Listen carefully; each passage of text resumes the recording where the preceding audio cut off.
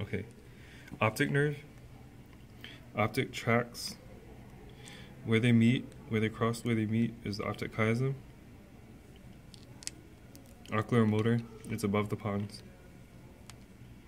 Um, olfactory, you can't see it on this brainstem, but you can see it in the cerebrum. Trochlear. Trochlear. Trigeminal. Trigeminal. Abducens. Facial. Vestibulocochlear. The thicker one. You know it's vestibulocochlear because it wraps around. Glossopharyngeal.